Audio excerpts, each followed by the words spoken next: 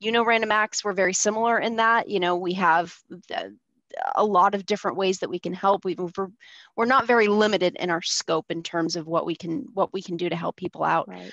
um, so with that in mind talk to me about um, i'm going to switch uh, the topics a little bit about uh, to talk about um, kind acts and kind acts that you've witnessed particularly in in your role there. Um, can you think of one is there any that co- there's probably a million that come to the top of your mind but is there one in particular that that made a real impact on you? Well uh, there there is one that that i always think about um, because it sort of highlights a few different things that hit hit my heart and that is um, and this was early on i've been here in this role for nine years now with Lydia Place and early on in the first uh, couple of years, we had this facility that I'm sitting in today is attached to our transitional housing facility for mothers with children experiencing homelessness.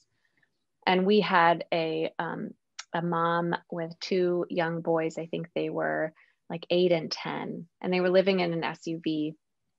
And she pulled up one day, she had looked us up and, and come to the door with her kiddos in the car um, and she was, it, it, they had been living in the car for quite some time. And she was talking with the case manager who was doing her intake assessment. And um, she was just in tears thinking about her son who was about to turn eight. Um, and he had said, like, mom, you know, are we going to have a, are we going to have a home before my birthday? And she was so like the anguish of this parent not being able to provide the, the most fundamental basic necessity of safe a safe home for her child to celebrate a birthday right? And and um and so like the pain that she was carrying not being able to give that to her kid. Yeah.